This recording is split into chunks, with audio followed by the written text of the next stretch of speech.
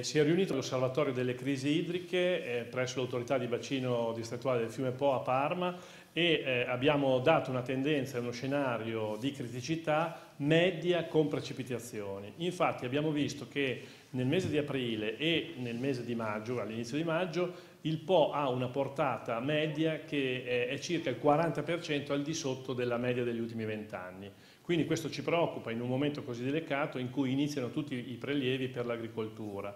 È prevista pioggia nei prossimi giorni e quindi noi faremo una nota sintetica fra 15 giorni che trasmetteremo ai portatori di interesse dell'osservatorio